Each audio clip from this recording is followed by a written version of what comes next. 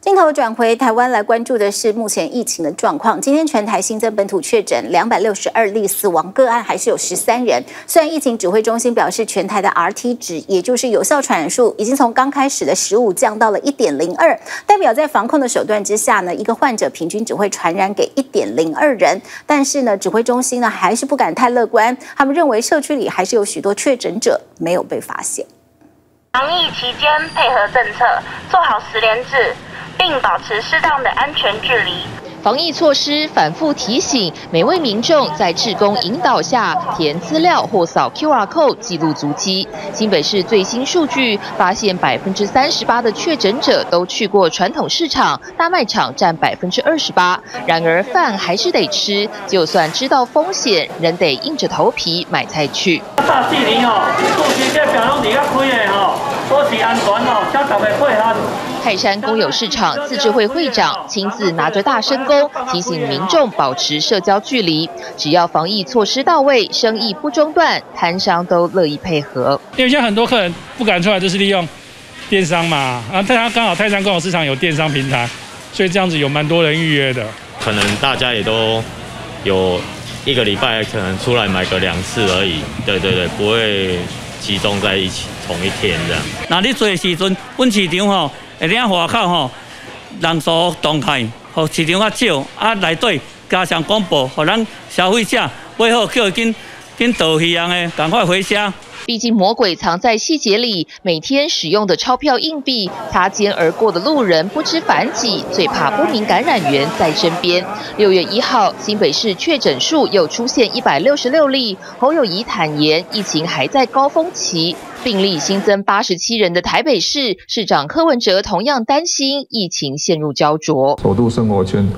应该每个地方都有这种潜伏的这一种感染源存在，疫情还是能够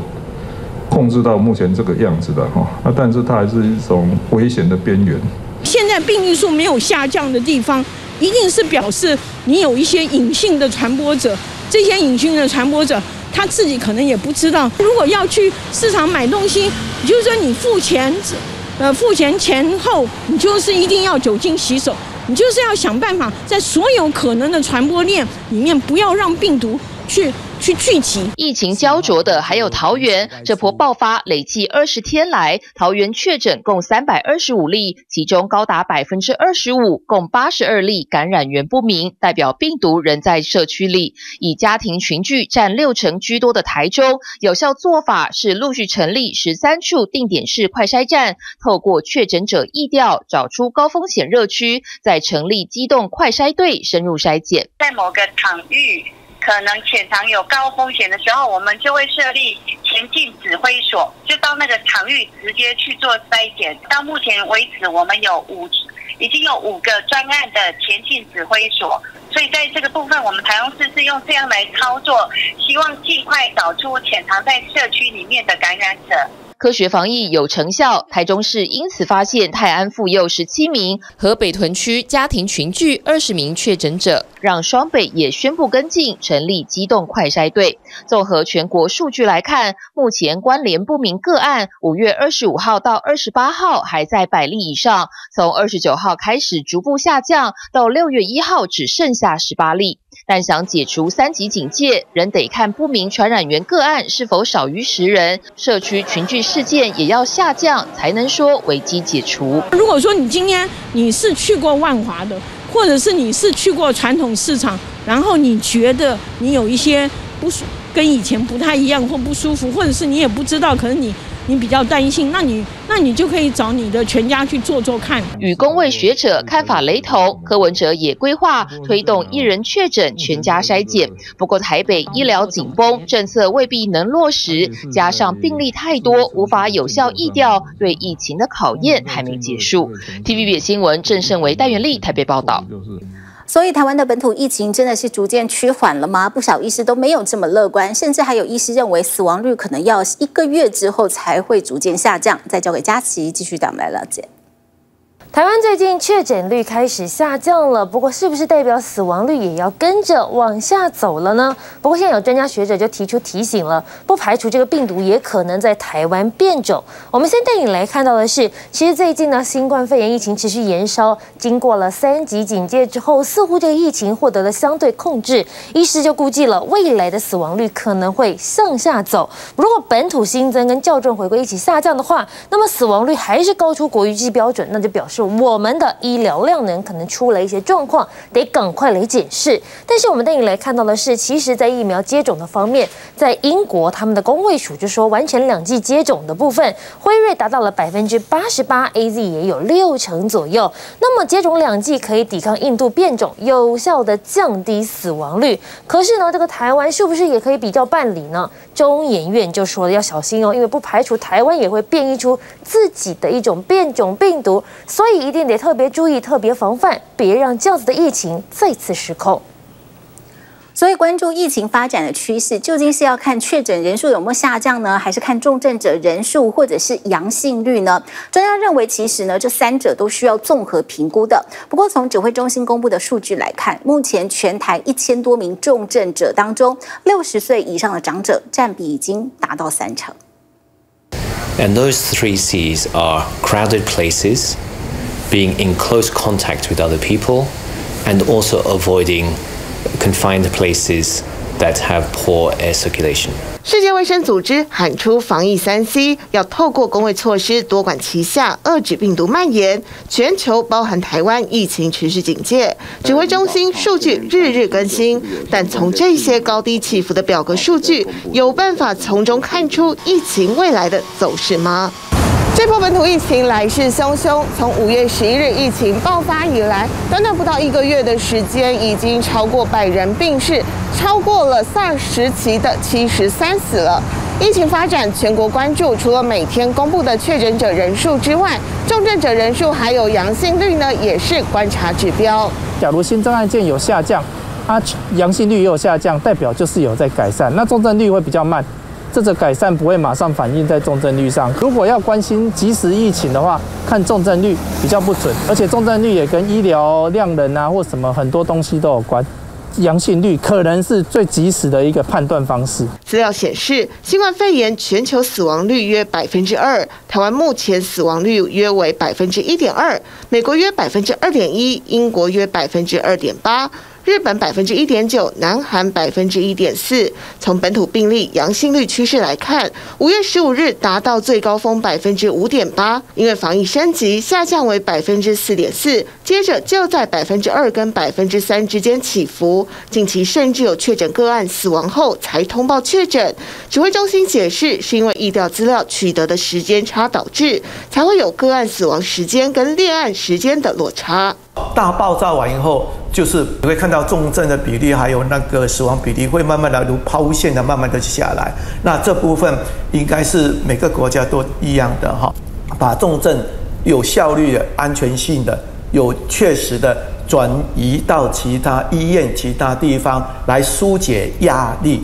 啊，这样子，他们的重症的比例才会啊慢慢的往下掉，然后死亡当然会往下下来。从四月二十号到五月三十一号，全台共确诊七千零八十例，当中有一千零五十五人达到重症程度。而这波疫情，六十岁以上长者重症比例达到百分之二十七点五，约占整体确诊比例约一成五左右。但除了在病房被照顾的重症患者外，确诊者还要面对隐形缺氧危机。这一类的病人，即使血氧已经降得蛮低了，但是病人自己并不会感觉到很明显的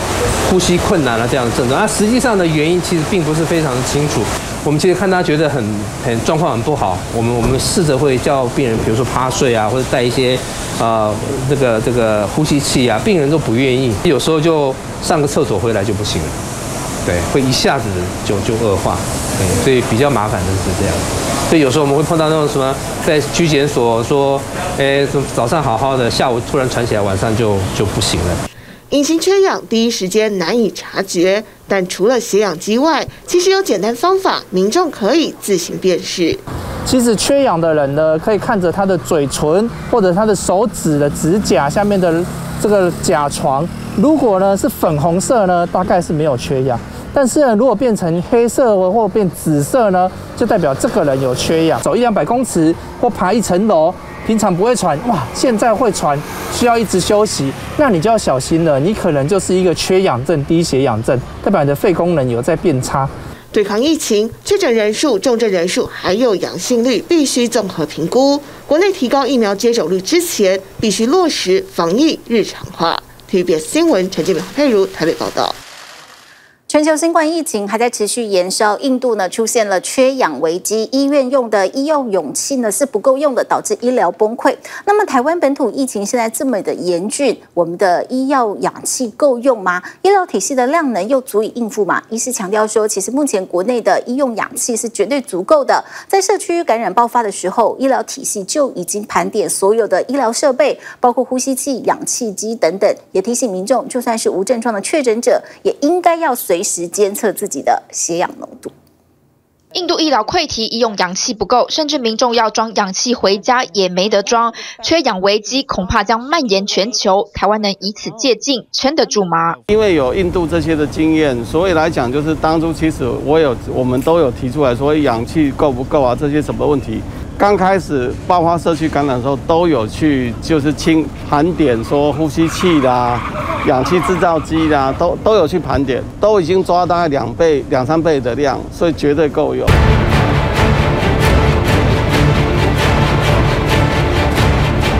台湾本土疫情大爆发，尤其单日死亡人数一度高达二十一人。除了重症之外，更有不少案例在到院前就死亡，是无症状的缺氧，成了这次新冠肺炎的隐形致命伤。这一块我是觉得说，除了缺氧之外，另外因为他的肺炎进展非常的快，再加上说年纪大的人又很多慢性疾病，轻症的在前面的一个礼拜是比较需要注意啦。可能缺氧其实对他们这些人是需要，因为有些人他真的变化很快。单就缺氧来讲的话，呃，第一个因为这是一个呼吸道病毒，所以它侵害的是肺部，那肺部是我们负责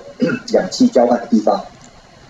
所以肺部受到伤害以后的话呢，氧气交换的功能丧失，它的血氧会降低，那降低到一种程度的，有时候会可能会引发猝死。有不少新冠肺炎的确诊者呢，他们看起来是不传也不严重，不过实际上他们的血氧浓度很低，而这就是所谓的快乐缺氧。而台湾有几起的死亡案例呢，就是快乐缺氧所造成的，这也让民众呢开始在购买这个吸氧机，以及像这样子的随身氧气瓶，甚至卖到了缺货。不过像这样的氧气机呢，什么时候该用，而怎么用，也都要特别注意。我在一般库存大概就是六瓶左右嘛，就有些他有需求或者去爬山的啊这种需求的，那大概在上礼拜二吧，那就是。一下就扫光了，再再叫就没货了。就是九十九就是正常的，一般九十七到一百都正常。除了用血氧机测血氧浓度有没有缺氧，也可以从外观判断，像是嘴唇、皮肤颜色也会因为缺氧变成紫色或是红色。一旦有缺氧状况，一般的随身型氧气瓶容量大约能维持两分钟。如果确诊者发现自己的血氧浓度低于标准值，在到院前能先使用制氧机、氧气瓶暂时维持。就是这个绿的范围内，然后供供氧，然后我们就是这样子，就是这样子正常的这个吸气呼气，就是正常的，然后就是调在这个绿线的这个范围里面。还有这外面如果脏的话，千万不要用酒精擦拭。氧气制造机跟氧气瓶，每分钟提供你的两两公升的这个接近全氧这样子来补充你的氧呃氧气的这个成分，然后呢看看你的血氧机呢能不能够血氧的这个呃分量呢能不能够超过九十五。升级到九十九、一百，应该是最好。医师提醒，一般人血氧浓度在百分之九十五以上属于正常值，不足百分之九十五则是略为氧气不足。若不到百分之九十，就非常危险，不能轻忽。不只是靠氧气瓶，而是要赶快就医。如果血氧浓度开始降低了，呃，到了九十五以下的时候呢，那当然第一件事最重要是要赶快就医啊。有各种可能不同的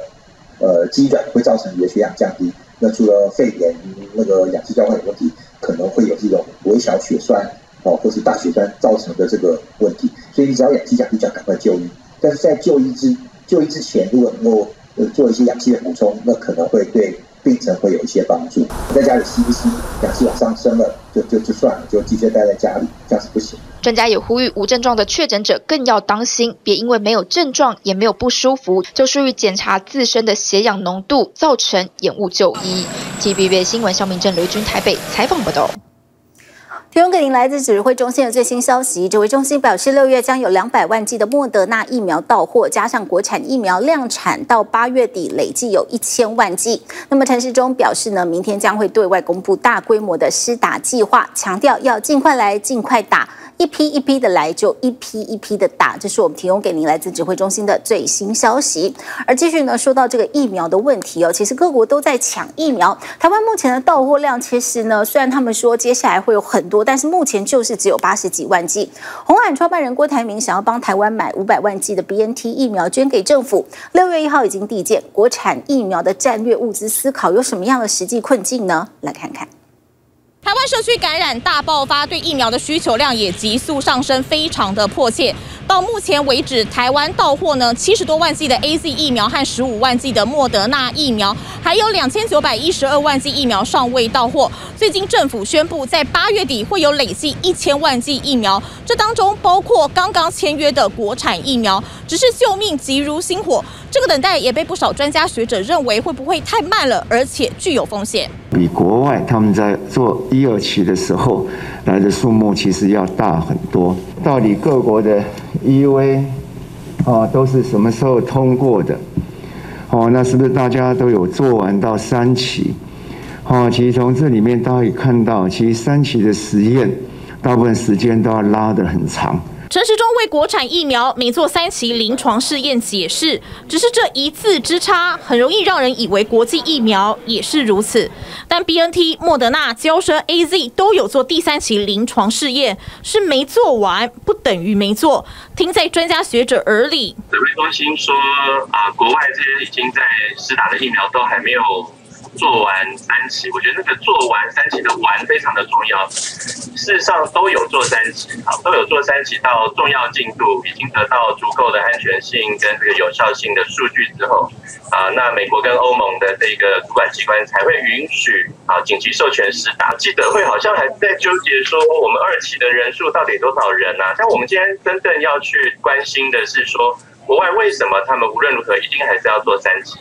因为三期是把这个呃这个三万人甚至六万人的这个受试者，他在施打疫苗分成实验组跟对照组之后，放在真实世界的环境当中去比较他们后来感染疾病的人数的差异。刘洪恩在脸书直接批指挥中心就是使用话术，让他觉得很痛心。而指挥中心首版列了国际疫苗和国产疫苗的一二期受试人数比较，还有强调国际疫苗要很久以后才完成三期试验，却。独独漏了去列国际疫苗在取得 EUA 紧急授权许可前就已经大规模做三期临床试验。以 BNT 来说，美国 FDA 是依据他们的临床试验第三期受试人数达到四万四千人以上的数据才同意申请。莫德纳是三期的受试者有三万人，交生是四点四万人才同意申请。欧盟 EMA 则是 A Z 疫苗临床试验第三期，受试人数有两万四千人才同意他们的申请。疫苗两大重点就是安全和有效。